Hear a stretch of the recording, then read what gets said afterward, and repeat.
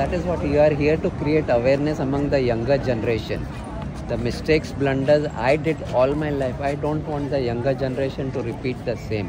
I'm here since morning 6:30. I slept at 12:30 in the night. Got up at 4 in the morning. Can you find anything change in my energy levels? My energy levels are as fit as I am. You know, there's nothing wrong because I don't put the wrong fuel in my body. The moment you start putting wrong fuel in your body, your vehicle will not perform well.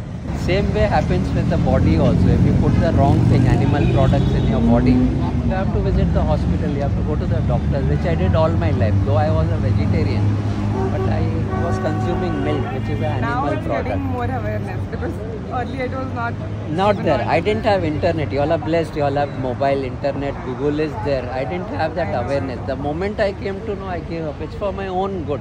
So that's what we are here to create awareness among the younger generation. It's for their own good, so that they don't commit the same mistakes what we have done.